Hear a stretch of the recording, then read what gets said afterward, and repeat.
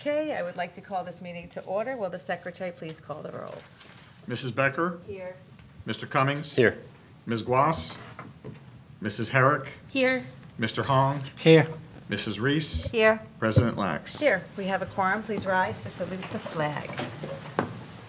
I pledge allegiance to the flag of the United States of America and to the republic for which it stands, one nation, under God, indivisible, with liberty and justice for all. Okay, the New Jersey Open Public Meetings Law was enacted to ensure the rights of the public to have advance notice of and to attend meetings of public bodies at which any business affecting their interest is discussed and acted upon. In accordance with the provisions of this act, the East Brunswick Board of Education has caused notice of this meeting to be published by having the date, time, and place thereof posted at the Board of Education offices. Written notice was also provided to the Sentinel, the Newark Star Ledger, the Home News Tribune, the Alternate Press of East Brunswick, and the Municipal Clerk of East Brunswick. All Board of Education meetings, with the exception of executive session discussions, are also videotaped for later broadcast. It is a policy of the Board of Education that videotape meetings are not edited for any purpose. Individuals who speak at the board's public meeting should be aware of these videotaping rules. Good evening to my diehard fans. Um, I apologize, but as advertised, we are going to go right into executive session, whereas the Board of Education must discuss matters which are not appropriate for discussion in a public meeting, and these subjects are within the exception to the Open Public Meetings Act and are permitted to be discussed in closed session. The Board of Education intends to discuss matters as follows, those items listed on tonight's agenda. The length of closed session is estimated to be one hour, after which the public meeting of the board shall reconvene and action will be taken. Now therefore be it resolved that the East Brunswick Board of Education will recess into closed session for only the aforesaid subjects, and be it further resolved that the East Brunswick Board of Education hereby declares that its discussion of the aforesaid subjects will be made public at a time when the public's interest in disclosure is greater than any privacy or governmental interest being protected from disclosure in accordance with the Open Public Meetings Act. Moved by Mrs. Becker and second by Mr. Cummings. Is there any discussion? All in favor? Aye. Opposed? Abstentions? Motion carries. Thank you, and we shall return in an hour.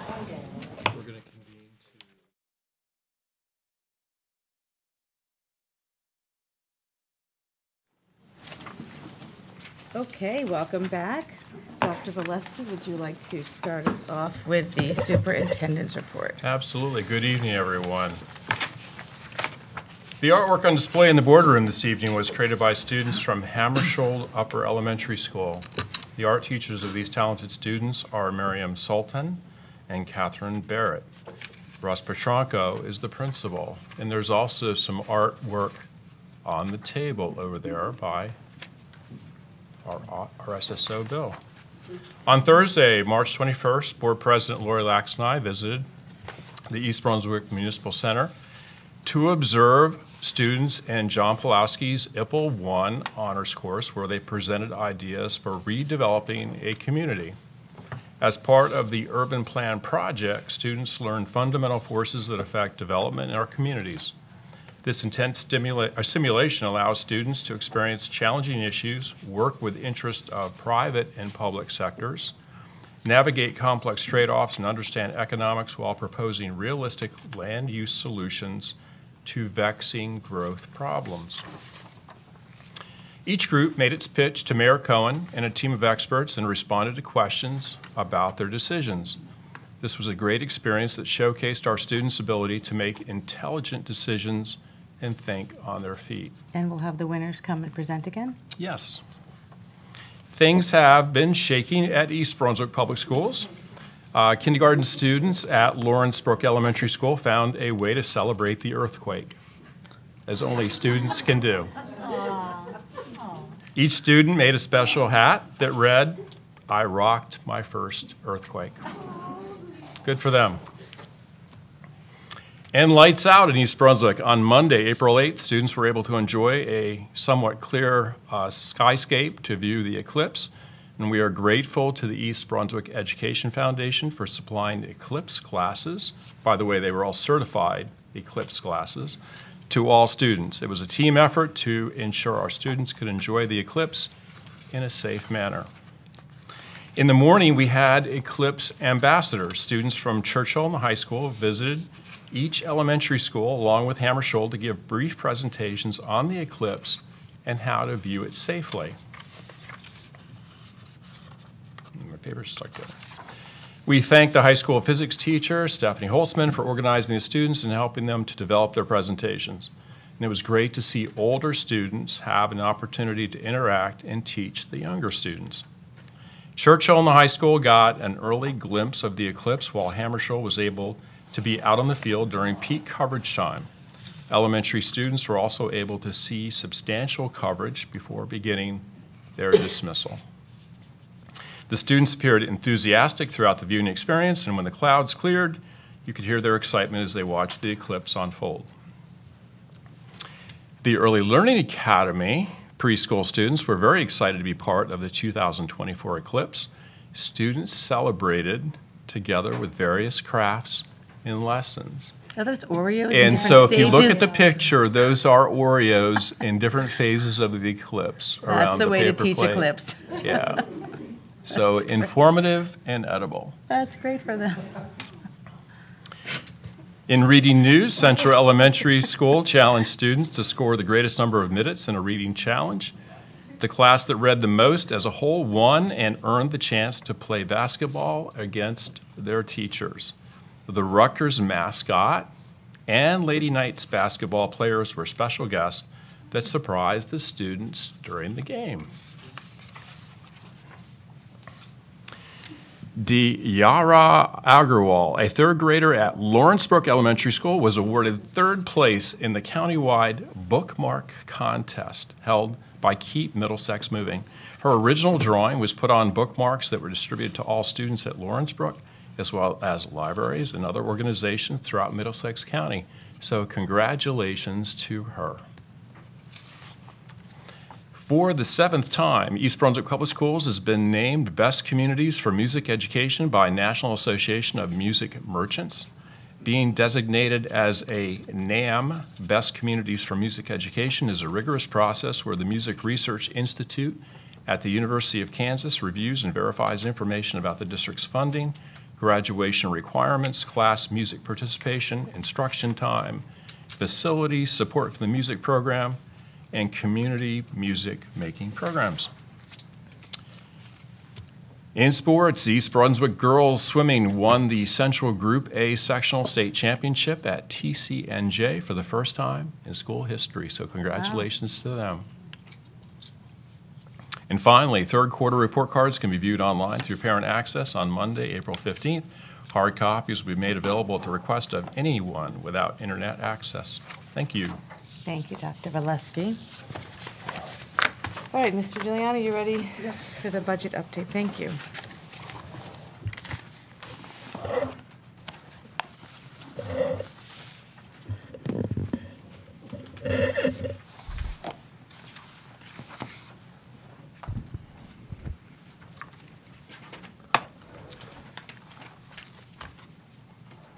Good evening, everyone.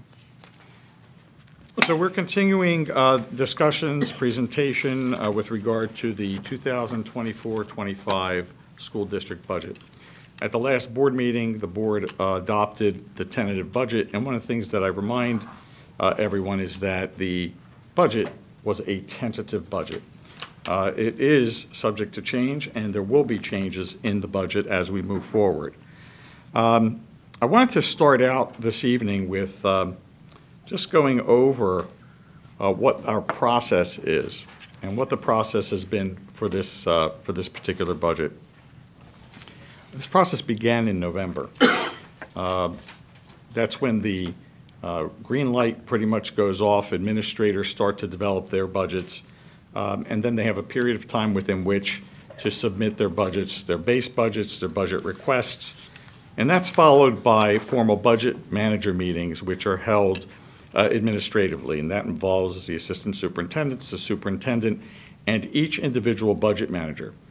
Uh, Within that period of time, there are 35 meetings that take place with all of the budget managers.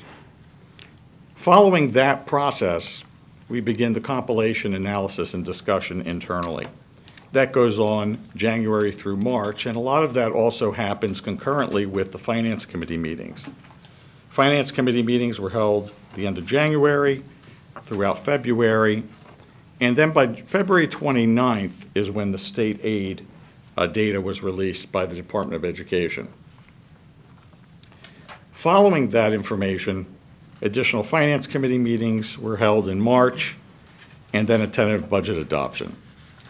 What's really important in this time frame is that regardless of the amount of time that planning, discussions, um, prioritization occurs, that the time from the date that the state aid data is released to the adoption of the tentative budget is less than three weeks.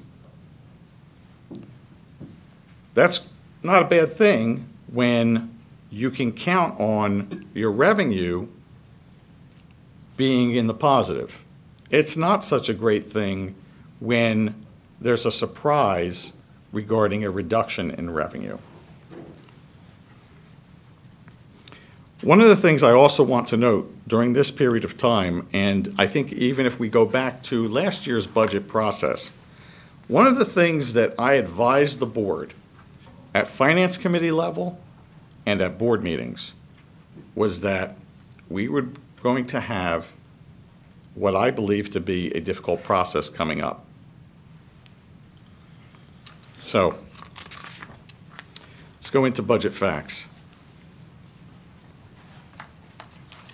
I believe at the last meeting, one of the things I noted was um, that the district was facing um, an approximately $8 million budget gap between appropriations and revenue. So I want to talk about that for a moment. Um, And one of the things that I, I believe I also noted, but I, I, it bears repeating, is that it will certainly impact staff. It will impact staff across all areas, but one of the things that's important is that no programs will be decimated. I think there's a concern about that. Um, It is being done in a thoughtful manner, and just for the record, we can't go through the details of what those are because the courtesy needs to be provided to the staff. The affected staff need to be advised first. And those details will be forthcoming at the next meeting. But in the meantime, we have to respect that staff need to hear this internally from their administrators so that there are no surprises and they're not learning it from a presentation. So let's talk about some of the, uh, some of the impacts. So first, this is one of the slides that was presented previously, uh, health benefits. We're seeing increases in health benefits across the board. We're looking at 7% um, in our, increase in our rates in each of the health benefit areas. I'll talk about what that means in terms of a real dollar amount as we move forward. Charter school increase, $740,000 increase in charter schools. Uh, This is attributable to uh, the Hatikvah having been approved by the Department of Education to uh, increase uh, its sections, uh, its number of students that it can accommodate. So uh, as that occurs, any changes in enrollment in the Hatikvah charter schools results in money coming out of the school district budget. It is, the school district budget is the source of funding for the Hatikvah Charter School. And as a result, as the funding increases to the charter school, it continues to remove resources uh, from the school district. Now, while $740,000 may not seem like, you know, it's a lot, but it's not $8 million, I think one of the important points in this really comes down to what I've said over the years when it comes to the charter school. East Brunswick has not needed a charter school and should not have a charter school. It has taken, through next year, $5.8 million out of the school district budget when the school district, when the East Brunswick Public Schools can provide the necessary and actually superior educational product than the charter school. So let's look at revenue and expenditure impacts. So I'll start out by saying, you know, this is similar to a um, listing that is done each year to identify what are the impacts affecting the budget. Uh, Last year, I believe the total impact was uh, fi- uh, about $9.4 million in total. Let's talk about each of the components here. And this year, I've added the revenue side because I think this bears um, uh, important note. We used 6. point identified $6.5 million in a state aid shortfall. And we'll talk a little bit further about that later. But as we've seen state aid over the last several years, state aid has been increasing because the state was moving toward bringing the district to where it should have been in terms of total state aid. The district had been held back, first capped for a period of time, relatively flat, and then started to see some increases, very small at first, and the last couple of years, more substantial increases. And that was supposed to take place over a period of three or four years. Two years ago, the state aid increase was $7.4 million. Last year, it was $6.5 million. We were again, as I said, anticipating a sizable increase for next year. And yet, we had a state aid reduction of nearly, of over $1.3 million. Those two components on their own are nearly $8 million in revenue. Let's look at the expenditure side. We have to take into consideration that state aid reduction. That counts on two columns, not only in terms of total revenue, but what, what's an adverse impact on the other side of the ledger. So 1.3 million in state aid. We talked about the charter school increase, 740,000. Special education out-of-district tuition. This is an area that has substantially affected the district, not because of the special education services, but because of the tuition rate increases that have been approved to go on by the Department of Education. If we look at the number of students that are in out-of-district placements, what was budgeted for the fiscal 2024 year and budgeted for the fiscal 2025 year, the variance is only two additional students. We've had students come and go, but that variance is still two. I think the total number of students projected for next year, I'm sorry, not projected, these are actual students. 56 students. 56 students, two additional students from the current year, does not coincide with a $1.2 million increase in, in special education tuition. But that is the reality of what we're dealing with. Special education tuition is based on the tuition rates that are provided to school districts by those respective special schools. It is not a made-up number. Next, contractual salary increases. We have collective bargaining agreements uh, with two associations, and we have non-unit staff. And based on those collective bargaining agreements and the movement of the existing staff, now this is based on the staff snapshot that we took in November to project our salaries, but that contractual increase is almost $3.9 million. Health benefits. I talked about that briefly on the previous slide. Health benefit increase of 7%, but that's not the end of the story. Last year, in order to close the budget, the board approved a one-time adjustment to bring the health benefit budget down by about $1.1 million. It was essentially saying, we will anticipate that we will not incur the level of claims that might otherwise come in. It was a calculated risk. But that $1.1 million does not hold perpetually. So that's a component that impacts uh, the budget. So health benefit increase of almost $3.3 million.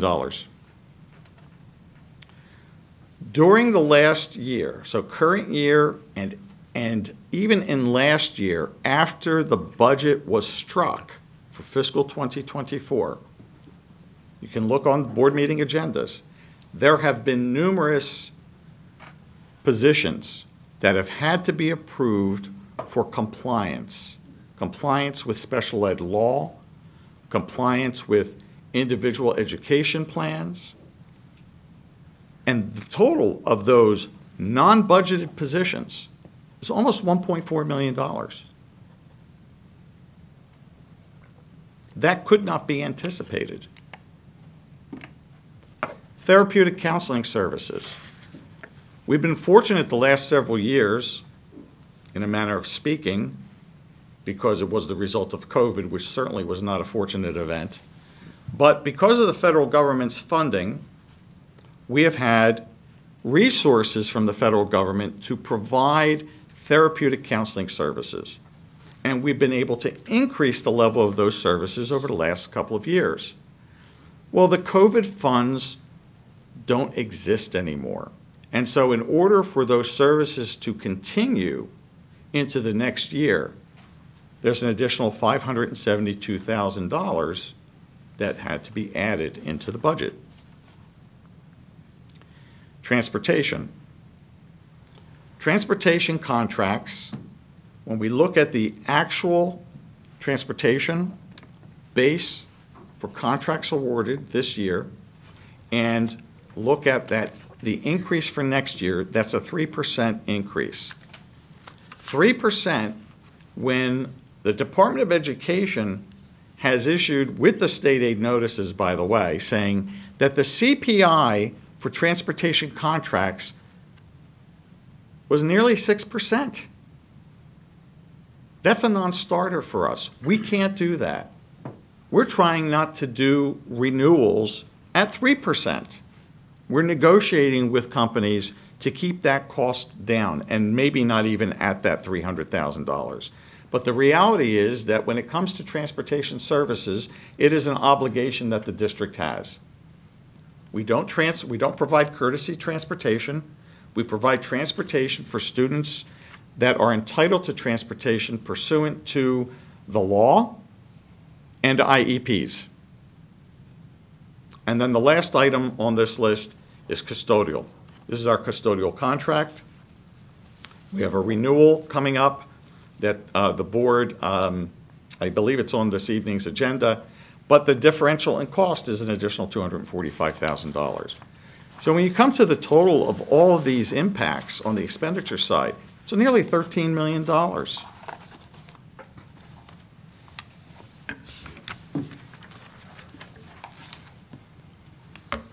So now let's talk about that state aid reduction and drill into that a little bit.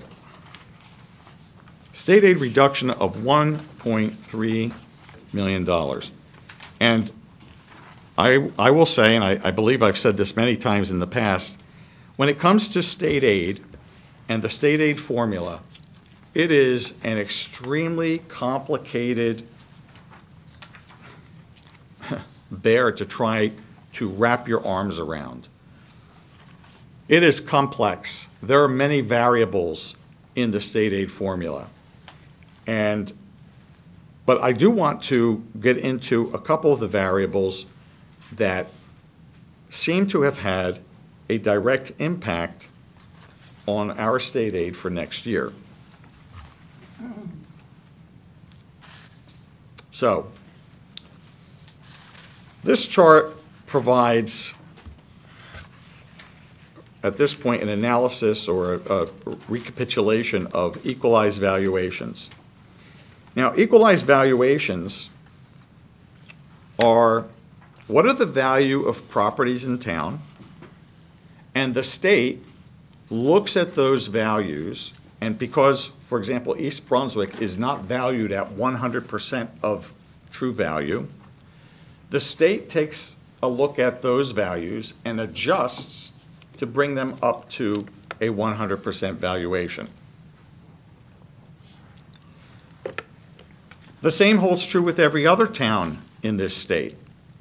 Towns may be as- uh, valued at um, 90%, 95%, anywhere in that range. East Brunswick is roughly at about 20% of true value. The reason for equalized values and making that conversion is to level the playing field so that all municipalities are being looked at with the same lens. What we can see here is that equalized values have gone up. So when we look at from 2021 to 2022 fiscal year, the increase wasn't that much. It's about $48 million. From 22 to 23, the increase was almost 563, or $564 million. From the fiscal 23 to the fiscal 24 year, the increase was $409 million. Looking ahead to the st- most recent state aid calculations, the increase in equalized value for East Brunswick was $798 million. I'll talk about why that's important in a little bit. So now let's add another component, district income. District income looks at the income tax filings with the Department of Treasury for the state of New Jersey from two fiscal, two calendar years prior to the current year. So it's essentially looking at data from 2022. District income, so the income of households, has increased. Well, first of all, the first year, from going from 2021 to 2022 fiscal, it went down by $1.6 million.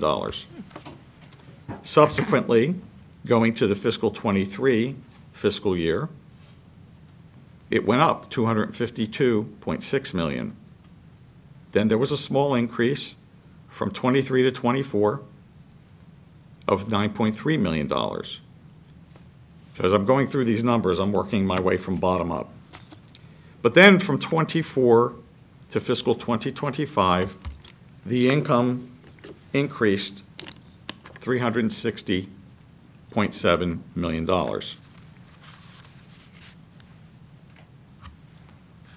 This information is all relevant to state aid and the state aid's formula. I want to go through a couple more pieces of information. So in the state aid calculations, one of the items that is reflected is uncapped state aid. So when you see uncapped, well, the other side of that must be, well, there must be a cap also on state aid. But this is what we should have gotten. So in 2021, 2022, 2023, and so forth, you see the incremental um, increases through 2024. 2025, there's a big decrease in the uncapped state aid. So now let's look at the calculated state aid. This is the actual state aid received in each of these years. So you can see, starting from the bottom up, that the calculated state aid in fiscal '21 was substantially less than what it should have been.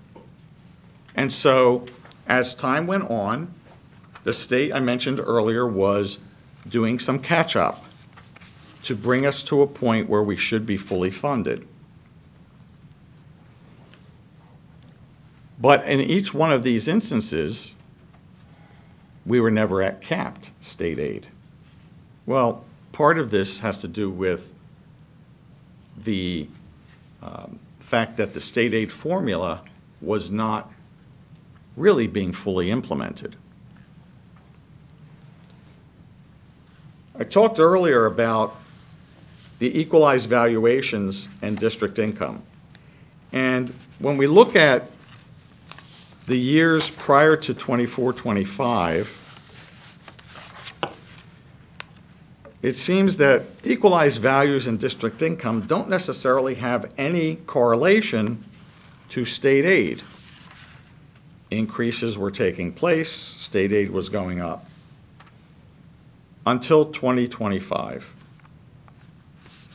The increases in equalized value were substantial, almost $800 million. The increase in income for the district, almost $361 million, and our state aid is then reduced. Well, that's a big thank you for having a town where property values have gone up, where the town folk are doing well, and what does the state formula say? The state formula says, you know, East Brunswick, you don't need so much state aid. You support it. And I think as a side note, the legislature, um, in recognizing some of the impacts that it's had on districts like East Brunswick, because we're not alone in terms of our reduction. Yes, there are districts that have gotten very large increases, $10 million and more. But there are districts that are in the process of making tough decisions as well, just like East Brunswick. But the legislature, in recognizing that difficulty, introduced a bill. I don't recall what the bill number is, but there was a bill that said, well, for those districts um, that have seen cuts in state aid, and I don't know what the status of the bill is, but for those districts that have seen cuts in state aid, you can raise your tax beyond the level that is in the state uh, formula for raising taxes. You can go to 9.9%. Well, I don't think I need to say anything in this room or to those that would be watching this. There is no way, absolutely no way, that this board or this town could sustain a 9.9% increase. That's ridiculous. Our goal is to try and keep the tax levy down at a reasonable level within the caps, if that's at all possible. So, notwithstanding the status of that bill, we need to make decisions that keep us within the spending program that's available.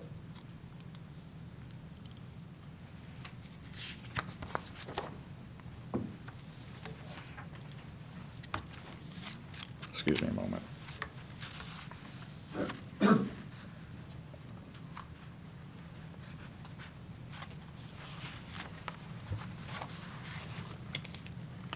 Bernie, just a note, that bill is Assembly Bill 4161. Thank you, Dr. Valeski. So, I said there are tough decisions being made. Out of respect for the staff that are impacted, we're not going over those details tonight. But I want to go over a few other points. Let's talk about class sizes, because I know this is a particular uh, area of interest um, at the elementary level. So, class sizes. For next year, our average class sizes are as presented on this chart.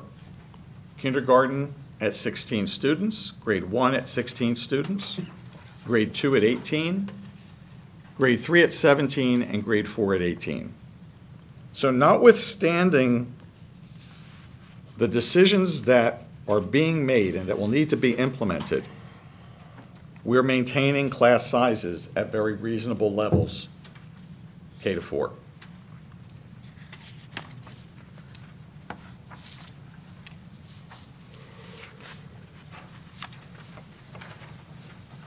So now, let's go into the general fund budget a little bit. Uh, This is a summary. Uh, This is not the same number that was presented on the tentative adoption, because we've been making some internal revisions. And certainly, the summary of revisions will be discussed, uh, once they're finalized, that'll be discussed at the public hearing. But at this point, we are at uh, 197, uh, almost $197.3 million. The budget's currently in balance. And this is where we fall with regard to tax levy. The tax levy increase is a bit less than it was reported at the tentative budget uh, adoption. Uh, At the last meeting, uh, the tax levy increase was, for the general fund, was 4.15%. We've been able to bring that down a bit to 3.97. Not where we'd like it to be, but one of the things that's important to note, and I shared this with uh, the board and the finance committee, is that for every half of a percent reduction in that increase would require about $740,000 in additional cuts. You can't do that on pencils and paper. That's people. And I think we're about as far as we're ready to go at this point. The debt service fund tax levy will go down next year, almost $300,000. The debt service fund, that's our mortgage payment. So that fluctuates a bit from one year to the next, but that will go down next year by 6%. So the net composite increase at this point in time is 3.63%.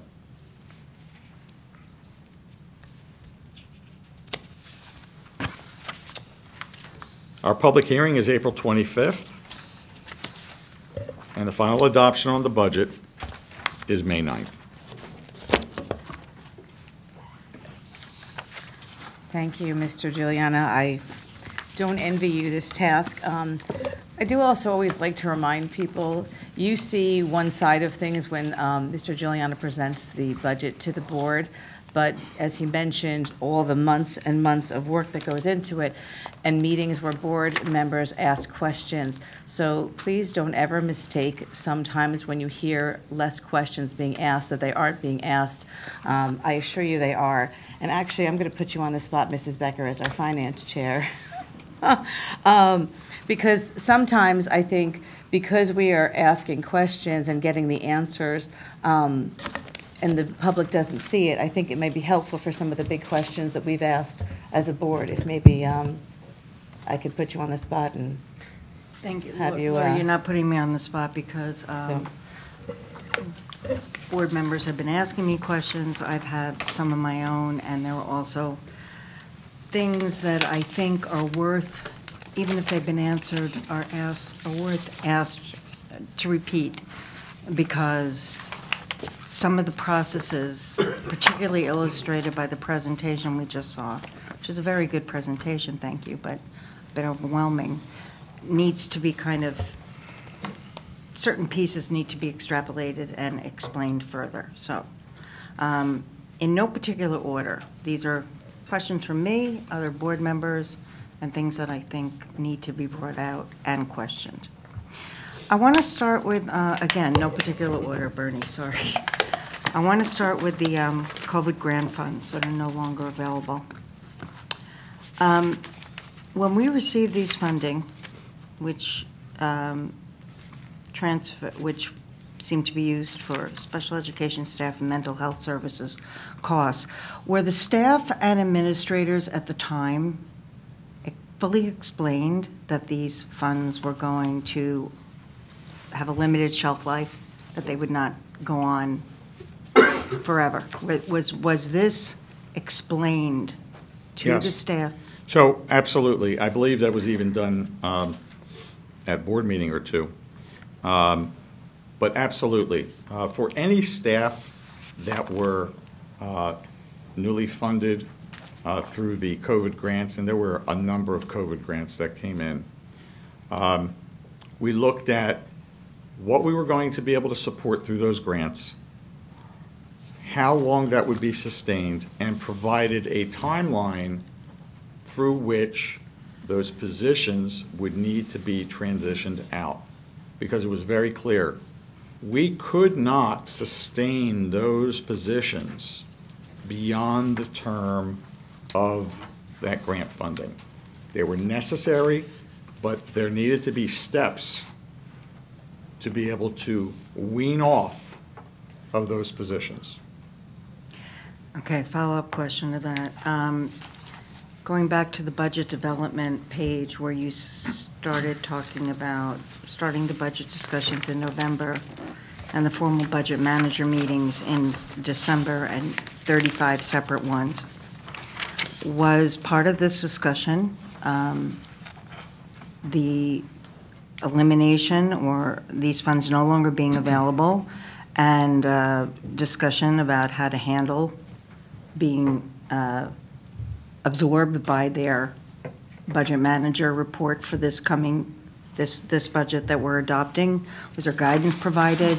Um, Discussion of, of programs that could be implemented different ways or staff that could be used different ways? It just wasn't going to stop the funding. It, there was going to be some kind, had to be some kind of transition, and I want to know um, how much discussion there was with the staff uh, affected and how much guidance was provided. Oh, we had conversations. They didn't just happen during budget meetings. They happened throughout, just, No. you know, as, as time went on. Correct, but I'm just referring, yeah. Yeah, those conversations absolutely took place. Um, You know, was it up to those department areas to really address that, because that's beyond the role of what we can do from our end. So, um, you know, without getting into the weeds and calling out specific areas, I don't want to do that. Uh, But, yeah, those were very specific conversations that had been had. And, Ms. Becker, the, if I could just insert, the 35 budget meetings that Mr. Giuliani referenced in his presentation, those were opportunities for those budget managers to have conversations, and it was clearly identified things that were in their budget that were going to expire, what they had to do differently, if they hadn't already taken care of it. So, but many, many managers came in anticipating that those, those funds weren't going to be there. So um, the budget manager reports that ended up being reported to the Finance Committee and then to the full board reflected a series of conversations that you and Dr. Valeski and your staffs had with the individual budget managers to help them figure out how to make this all work? I'm sorry, I didn't follow that.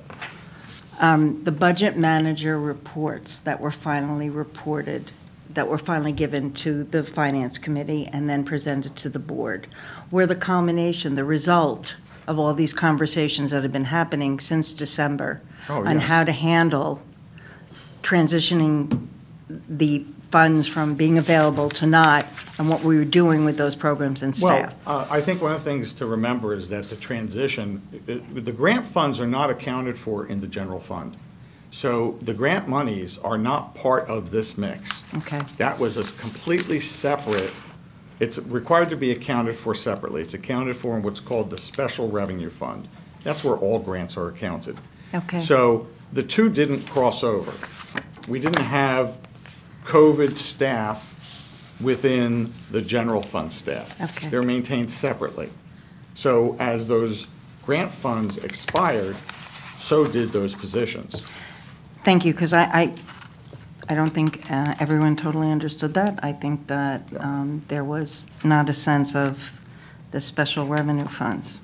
Uh, Guys, I have a lot of questions, um, well, not a lot, I mean, but I have a number of questions, again, from myself and from other board members, but I don't want to monopolize this. So if at any point someone feels like, Vic, you've talked enough, like, could I get in a question? I'll just stop and then return. Okay. Thank Um, Could you just talk for a minute about, when we go back and look at state aid funding?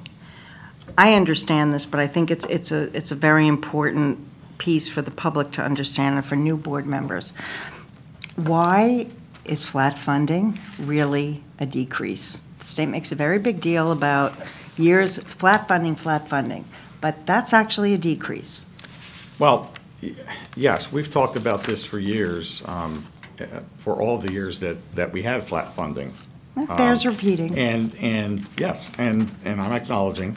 um, So, you know, flat funding, when you look at, if your state aid is, just for purposes of, of uh, illustrating, is at $20 million, um, and you have $100 million in your appropriations budget, and then the next year, your state aid is at twenty million dollars, but your appropriations budget is hundred and ten million.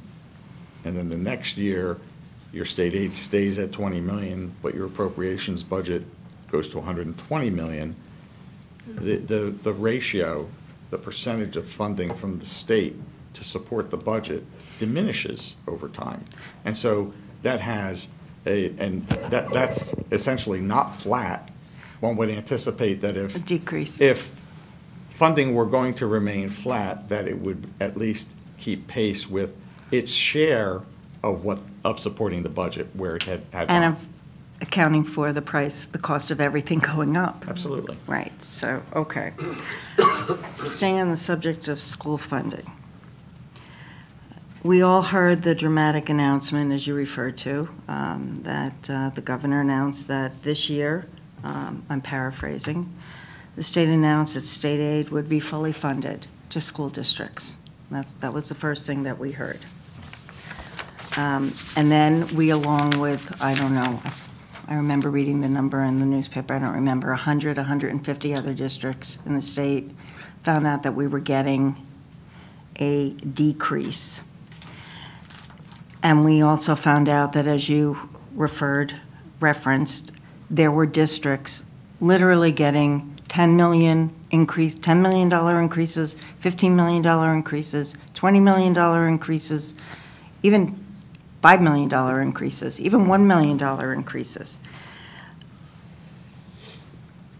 I know you said it's, it's hard to explain, but I was getting a little lost amongst the terminology of the equalized valuation, district income, uncapped state aid.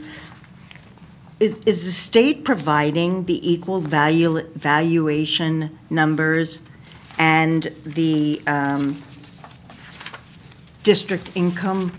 Is, is that all, all, all those numbers provided by the state? Do you Yeah. know? Yes, so those are all, uh, that's all data that the state uh, captures from its own data warehouses. So it collects that information from uh, the Department of Treasury, New Jersey Department of Treasury, uh, whether it be the equalized values. The Department of Treasury is responsible for um, arriving at what the equalized values are across the entire state.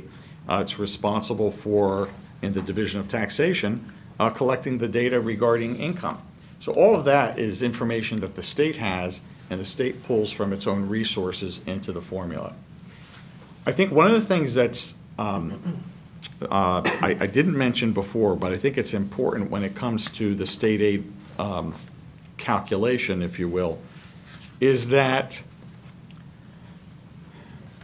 the state has always, regardless of how the formula has been written, whether it's the current formula, past formulas, here's how the state works.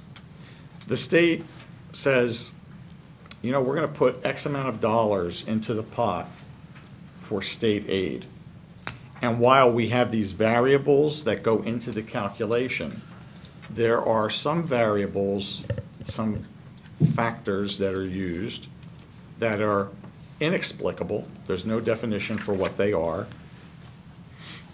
Those seem to be um, where they make the numbers work.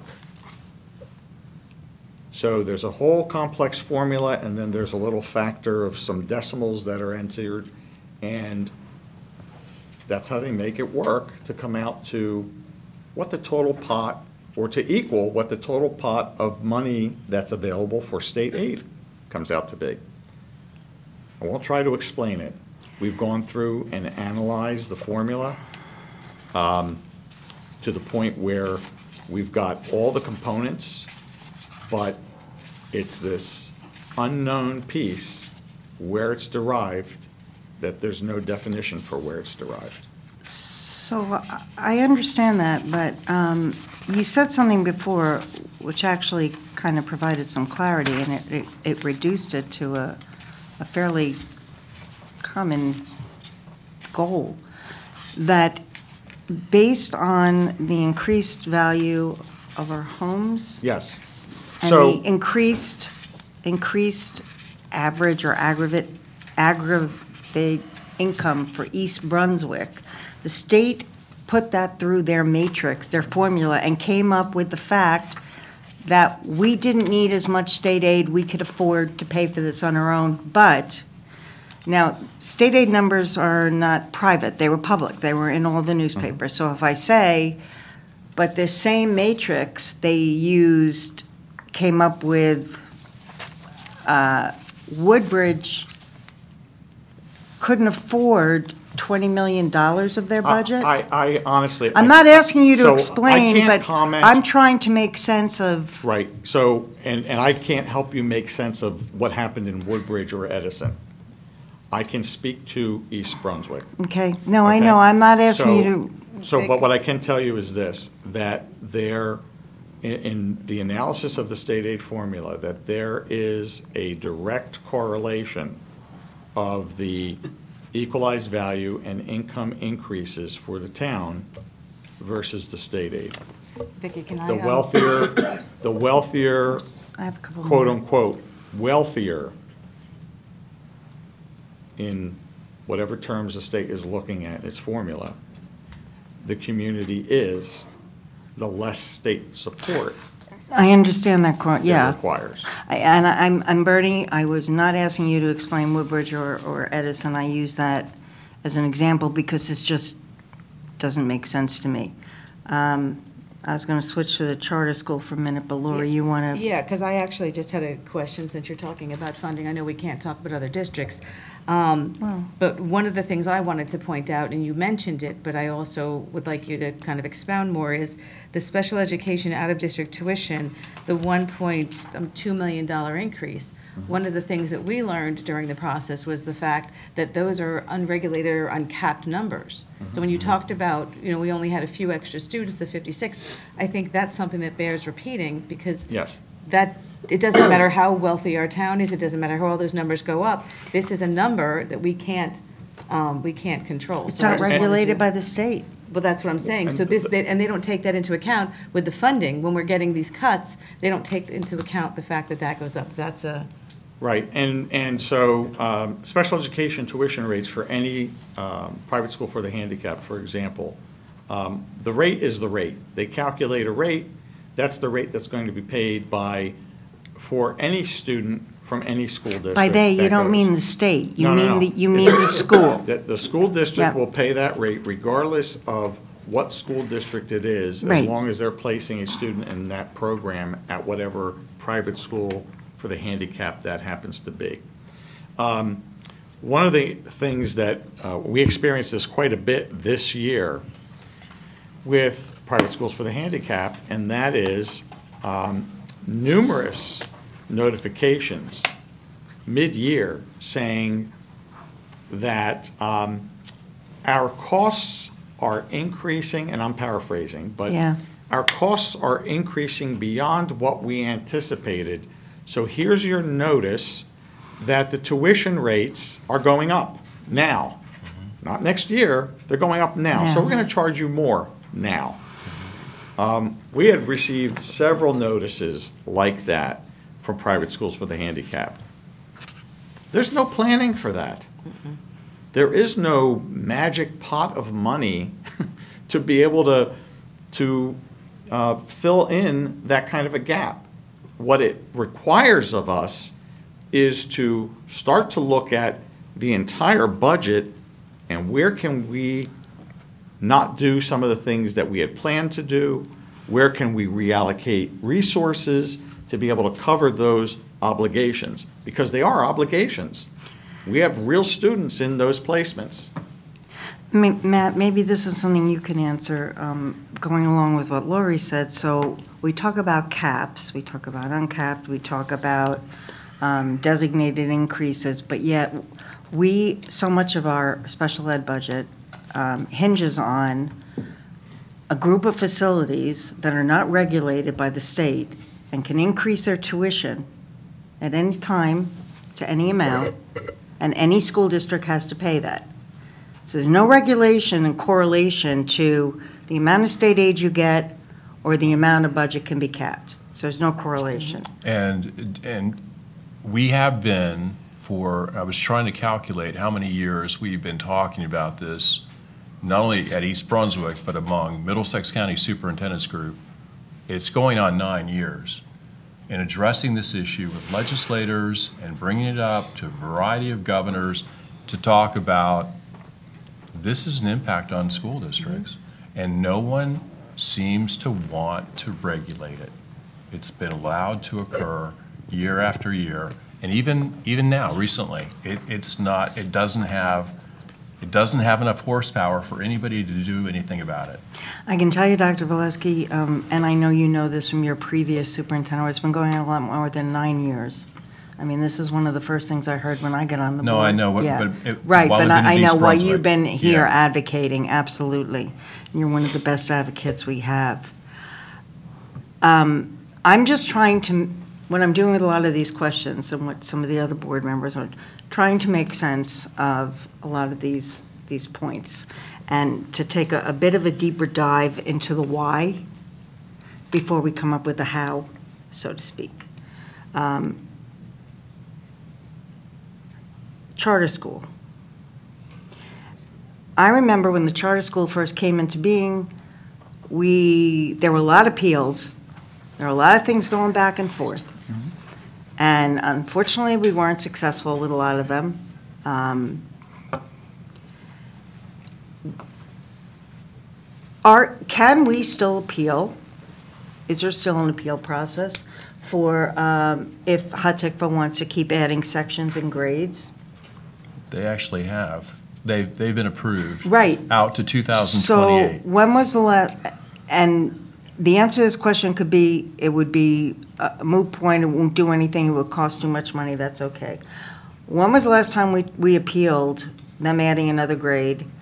And um, is it, is it worth it? Is it, is it worth, what, what is, It, it's not worth it. I mean, I can tell you, we, we had litigation right when they first commenced operations in two thousand Nine. nine. I mean recently. No, nine and ten.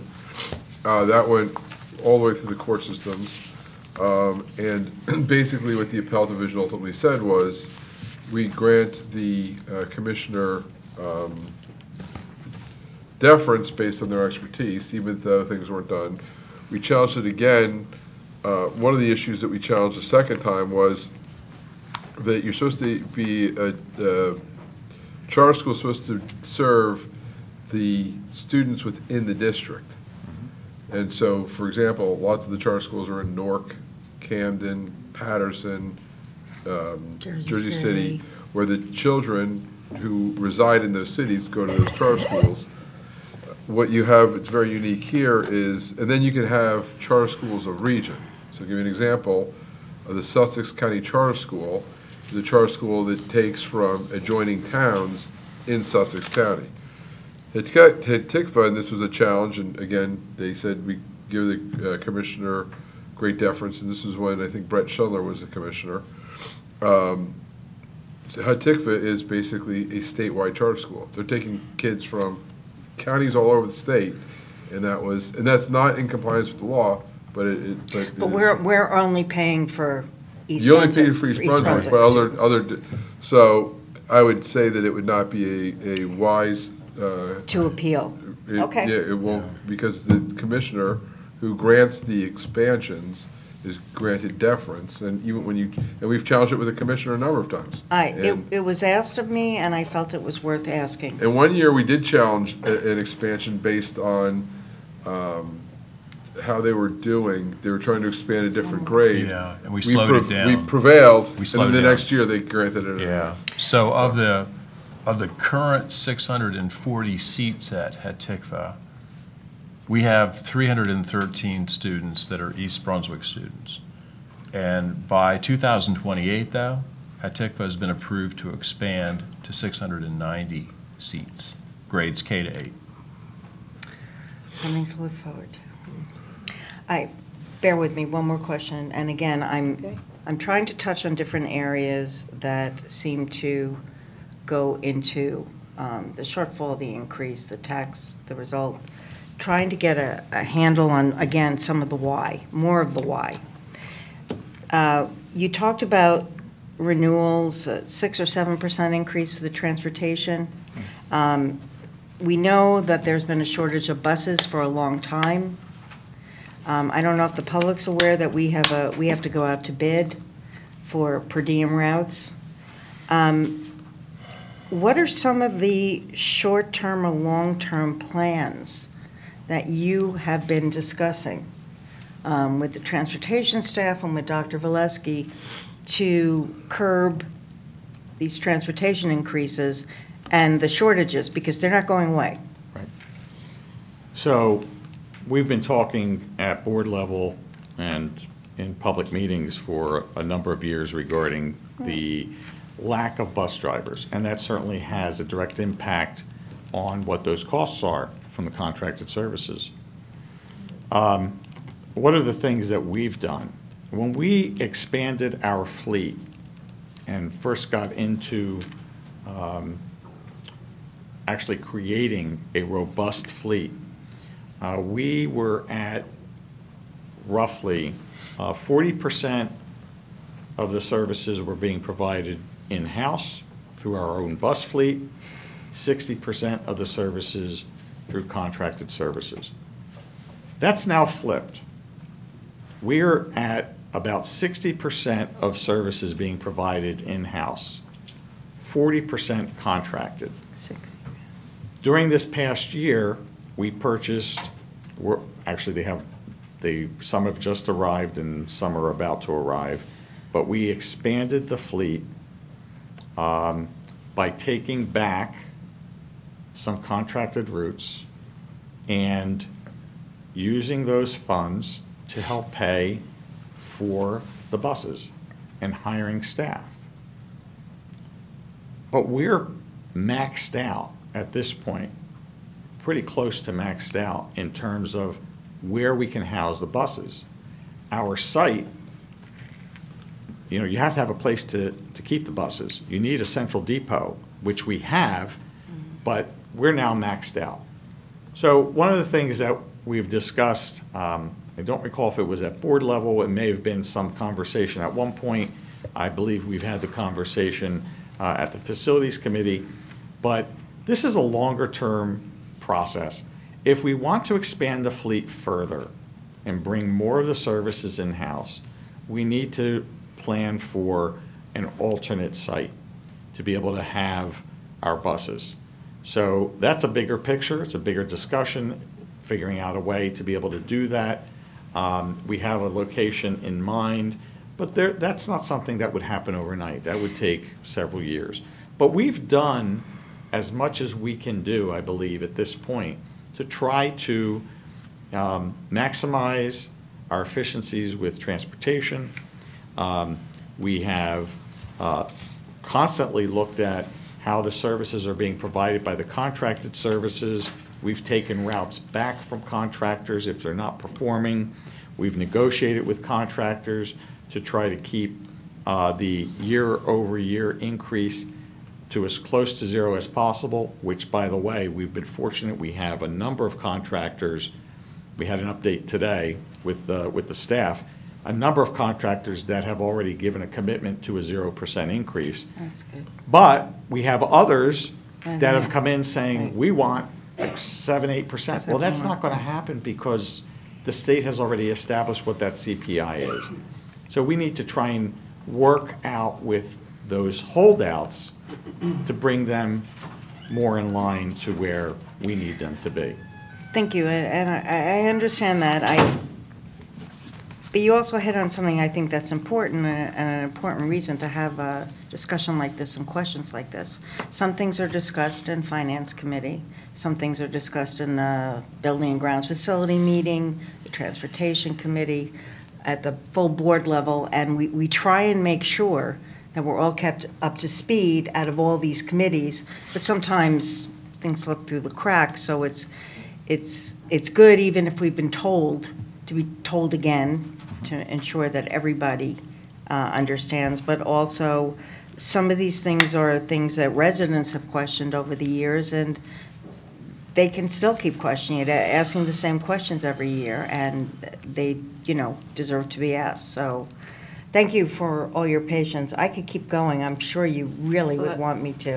I- But I, love I'm going to let the other there board anyone- members ask some questions. I'm gonna let, I'm gonna let, it's okay. No, if I leave them? Okay. absolutely, Go absolutely. ahead, Mr. Han. So I'm talking about, I'm going to talk about the number.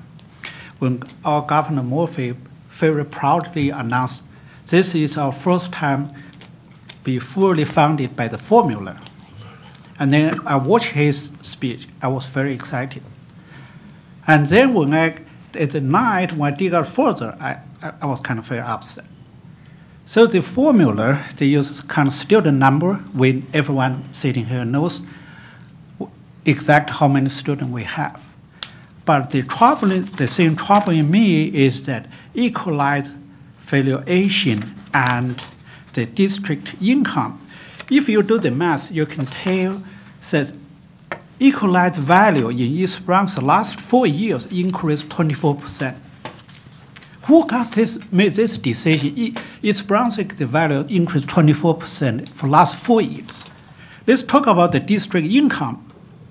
So this number even more troubling. So 2021, 2022 only actually decreased about 0.1%. But 2022 compared to 2021 is jump up 11%. And then 23 compared with 2022, is about 0.4%. 2024, this year, it increased 14%. Who got this? See, for two reasons. Why this number fluctuates this big? And second, who made this, who got this number? You said this is from the uh, tax division, uh, treasury department. Could they simply make a mistake for this huge fluctuation? I can't So this is very that. bothering me, this number. So East Brunswick, I don't, my personal experience, I don't think East Brunswick that changed that dramatic, dramatically for last four years. But the value increased twenty-four percent. The income for two years went up eleven percent, and then this year fourteen percent, and the two other years was flat. So this is troubling me a lot. I don't know where we can verify this number, but this deeply impact our state aid. We won't be able to verify the number. We have to trust the number. Well, The num, you know, the, the data, the Department of, of Education uh, receives the data from the Department of Treasury. Treasury is the keeper of the data when it comes to the equalized valuations and income. I, I just don't understand this, why this huge difference and huge uh, fluctuation and uh, again huge increase, which definitely caused the state aid reduction. So that, that, that is my concern. I know you, you're working very hard to try to make both end meet, but the, when the income comes too little, I don't think you can do too much. That's, that's, but I'm going to personally, I will try to dig out if the, so this year's income is fourteen percent increase, especially the tax season has not come up yet. So I, I, I- it's bothered me a lot, such big decrease. Thank you. Thank you. Thank you, Mr. Giuliani. It's Not easy. Your job. I appreciate it. To be continued. To be continued, yes. Um, So have all my other questions. But on a positive note, um, Chris is back. Welcome back, my friends. Um, We've missed you. We would love to know all the happenings at the high school. And also, dare I ask, decisions made yet? Uh, yeah, the uh, decision finalized. Um, I decided to commit to Princeton for Yay! I love your staying in Jersey. It makes it much easier for you to come visit. It really Because you will. Always be able to come sit in that seat, so. All right, tell us what's going on with your classmates. Yeah, hi, everyone. Uh, after spring break, clubs and classes at East Brunswick High School have wasted no time getting back into the swing of things. However, before we get into that, prior to spring break, on March 21st, the East Brunswick Wind Ensemble and Concert Band performed at the Central Jersey Music Festival and received two gold ratings. This was an improvement from the last two year, from the last year, where both groups received a silver rating, and a testament to the dedication and hard work of the students in the band program and the fine arts department at the high school.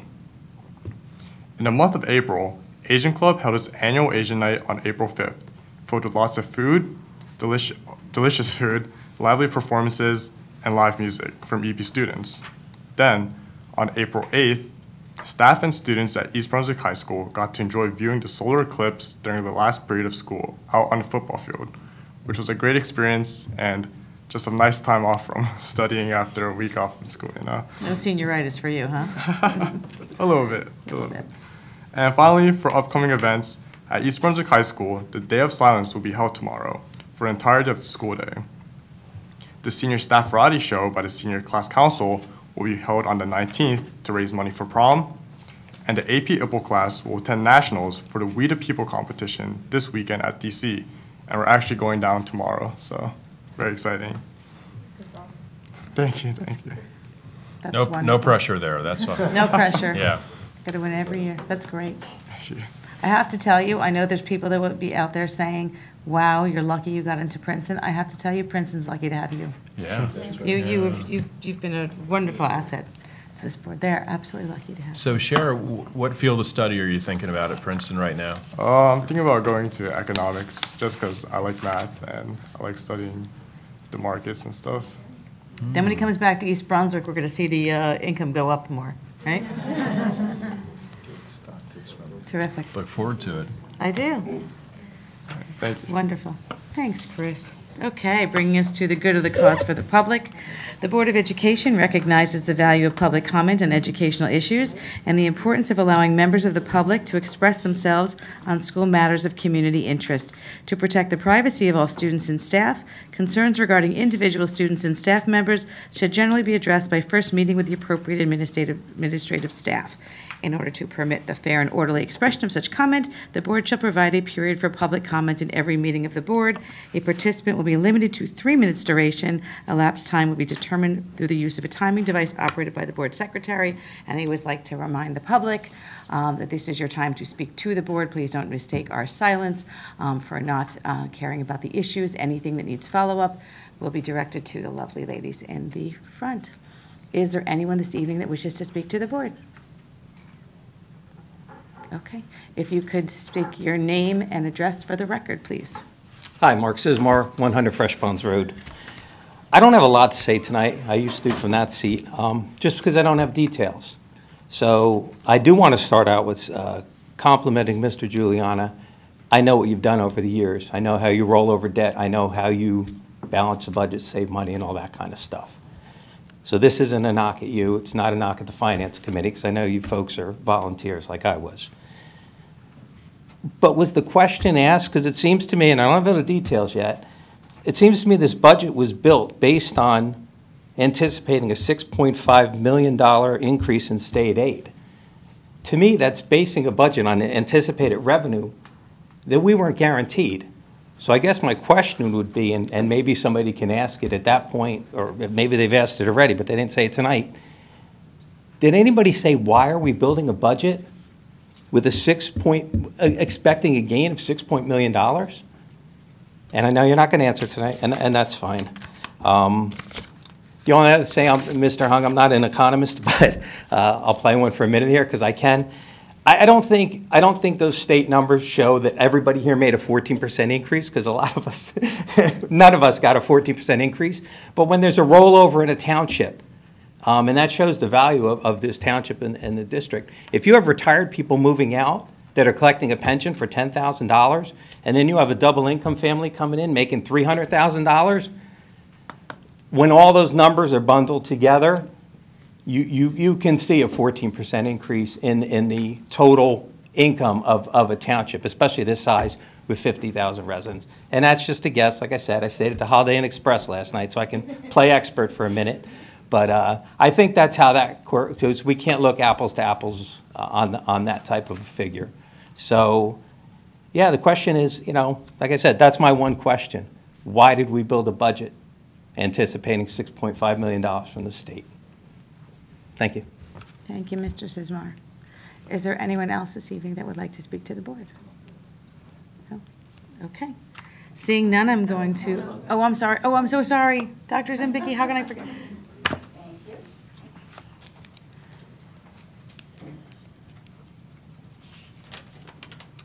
Good evening, everyone. Dana Zimbicki, President of the East Brunswick Education Association.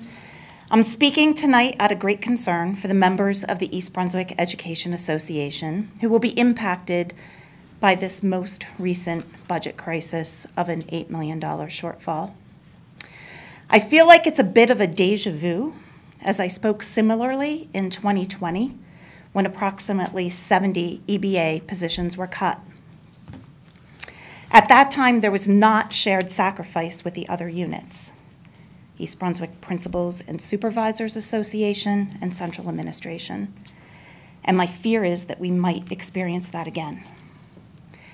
If this is the case, it will be painfully obvious to my members and to the community that the cuts are not equitable and rest fully on the backs of EBA. Those staff members that have, by far, the more and most direct contact with students and parents in East Brunswick. I don't want to see anybody lose their jobs or have their jobs altered, but I do believe when the numbers are this large and this impactful, there should be shared sacrifice. It's actually heartbreaking to see this inequity of patching the holes in this budget if we do do this on the backs of the EBA unit. So I'm going to end with this. I, as the president of the East Brunswick Education Association, cannot support a budget if there is not shared sacrifice among all units and central administration. It should not be on the backs of the EBA unit with this magnitude of $8 million. And I do not understand how any one of you could be comfortable with that decision should it occur. Thank you. Thank you, Dr. Zimbicki.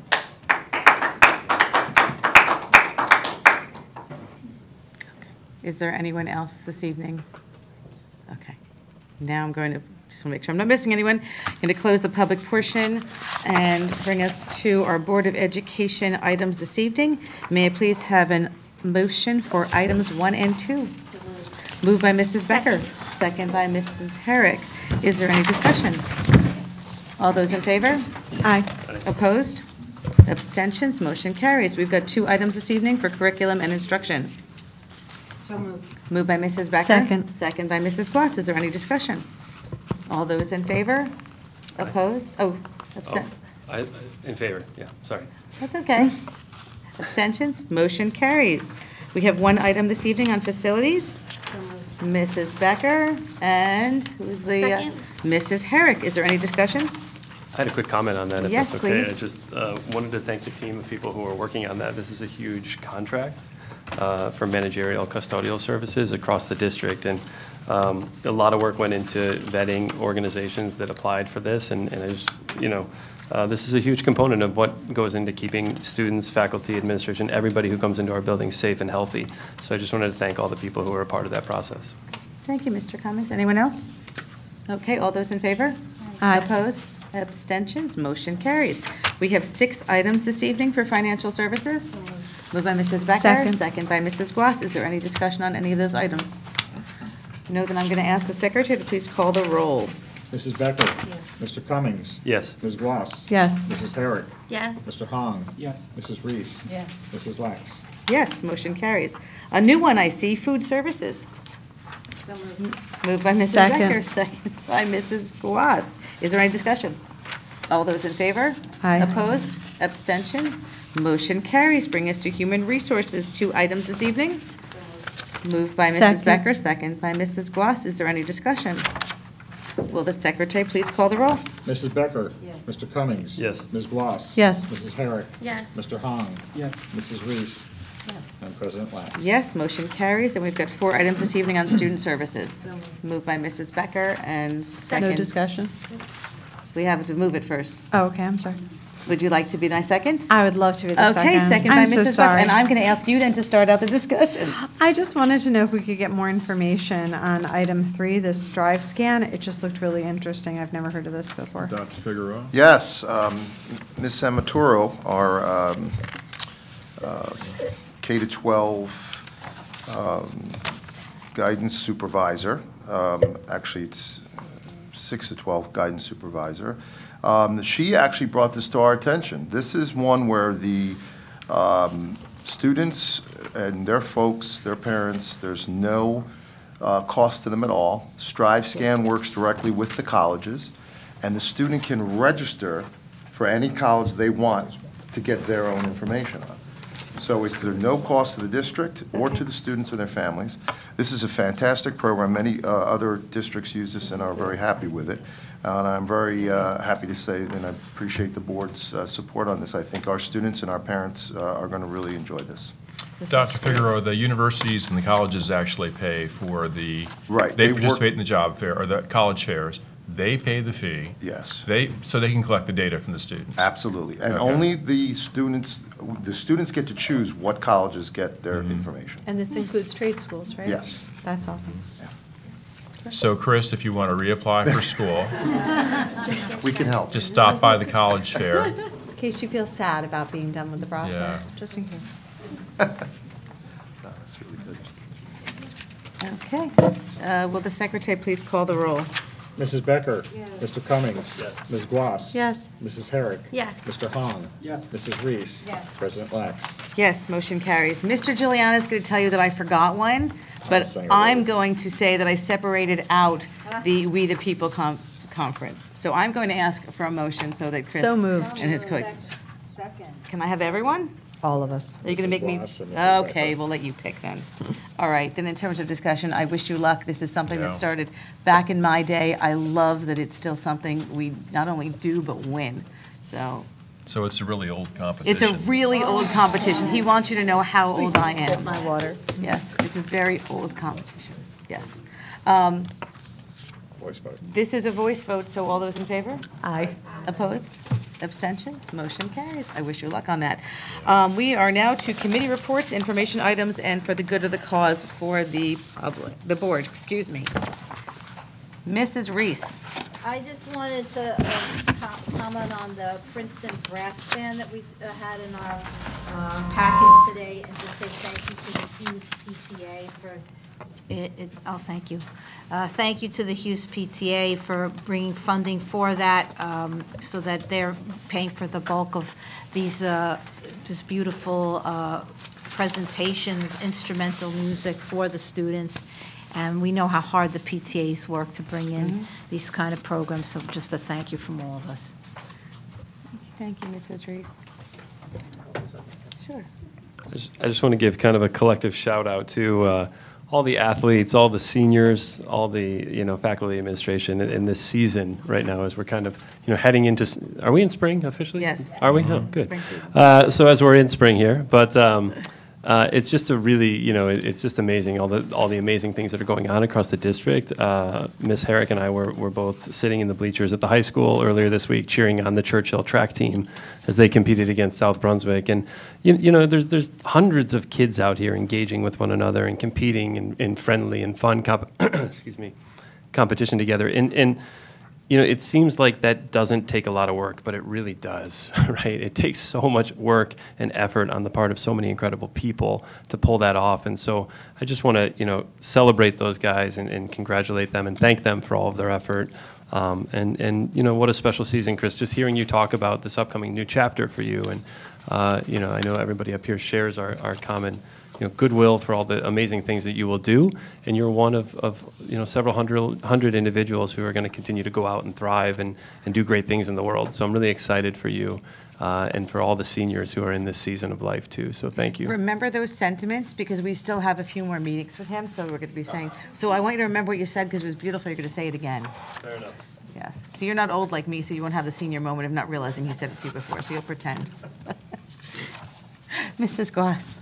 Um, Just to piggyback on what Mr. Cummings said, and you'll have this opportunity, I am sure, when you get up to the high school, but also a huge shout out to the booster clubs, because what they do for the kids is amazing, and, and you definitely, with all the pollen in the air, should come by the high school any weekend morning, because there's always a car wash to support some team. Um, and there are always a bunch of children out there shivering early in the morning waiting to wash their car. Um, I wanted to comment, though, on the phenomenal job of the elementary schools um, for the children watching the eclipse. I had the opportunity to be at Memorial. Not that I was there in any official capacity, I was just there to pick up a six year old. But it was amazing. Um, the kids were spread out, they had their little towels, they had their glasses on, they had coloring pages they were working on to keep them busy while they were waiting for things to look at. It was the most orderly group of, and so many, I mean, Memorial's got a very large student population. It was the most orderly group of little children waiting for something. I mean, we've all had to wait with a small child, and it's no small task. And to just see how many hundred of them sitting, engaged, talking to their teachers, following directions, and just being so excited for this event. Um, and I will stop there because my daughter also wanted to calculate how old we would next be at the next eclipse and the one after that. I'll be 106. Oh, she was so excited. Right, right? Come on, you could say it. But I was I was just watching as a parent, and then I looked at it for a moment as an educator, and I was like, look at all of them being attentive and safe and following directions. The teachers did a phenomenal job just keeping everybody safe and focused, and it was just a great moment to watch. So That's thank you. wonderful. Well, actually, so speaking of kids, um, I know that we're talking budget right now, but I would like to extend an invitation to the board members. You may not realize this, but our next board meeting also happens to be Take Your Child to Work Day. So, since we are in the business of children, I know some of us have more than others, um, I would like to put it out there that any board members that would like to have their children join us that evening on the dais, I would love to have it. Absolutely. Yeah. I- I- Can we make it, can we make it bring your favorite child to work? So We can because my dog is coming. so, Madison, um, 100% is asking. I mean, if you've asking, got to sort them down, just take your favorite. Or it's gonna get crowded right here. but we have some space. Quinn can sit with me. And So I will Madison is asking, she wants to be a Board of Eder. That Yes. is her feeling that that's what we do. We I are just Board of think, Eders. I think it's, a- it's a nice thing. So for any of you that are willing and able, um, I would love to have uh, the young ones. I miss the young ones. So um, just wanted to put that out there to all of you. And yes, we will certainly, I will find a way to provide seats. As I said, I will share mine. They are little people, some of them. So, um, yeah, I'll give mine up for the night. Yeah. So is this a dog-friendly environment? Because seriously, since you said favorite child, I'm thinking that maybe. Oh, my uh, goodness. Scooby's going to come? Is that, uh, Right? You can, he's not, he's hypoallergenic. So. Is, um, is Scooby a therapy dog? He is a therapy dog. Yeah. Is in, is in, he'll be in therapy every time I leave him. He has separation anxiety. My children run willingly into the world. My dog is uh, desperate for my return. So, um, just wanted to put that out there to everybody. Okay, Mrs. Herrick. Um, I know we talked about sports, and it was great to see Mr. Cummings and a lot of parents out to support track the other day, as well as last night. I was at Churchill Junior High for the middle school softball team, um, and there was a lot of parents there too. Um, so it's really great to see everybody out there supporting our sports teams. And uh, a few weeks ago, I went to Churchill for their drama club, um, the Addams Family, and I have to say, I was blown away. The kids are just amazing. Um, the singing, the dancing, the props that they used, everything. And you can just tell how much they loved it and how engaged they were, and they were so proud of the work that they put on. So kudos to the students as well as the faculty that supports them because it was really nice to see such a great time. That's great. And we're going to have the ULI kids, maybe some more learning across the district. I love all my kids. And my favorite person I see sitting there, my first, I have to come visit your class. Not that I play favorites, but I play favorites. Um, All right, well, we do have a need for another closed session, so whereas the Board of Education must discuss matters which are not appropriate for discussion in a public meeting, these subjects are within the exceptions to the Open Public Meetings Act and are permitted to be discussed in closed session. The Board of Education intends to discuss matters as follows. Those items listed on tonight's agenda. The length of closed session is estimated to be one hour, after which the public meeting of the board shall reconvene and action may be taken. Now therefore be it resolved that the East Brunswick Board of Education will recess into closed session for only the aforesaid subjects, and be it further resolved that the East Brunswick Board of Education hereby declares that its discussion of the aforesaid subjects will be made public at a time when the public's interest in disclosure is greater than any privacy or governmental interest being protected from disclosure in accordance with the Open Public Meetings Act. Mrs. Becker Second. and Mrs. Guas, any discussion? All those in favor? Aye. Opposed? Abstentions? Motion carries. Thank you and good night, everybody.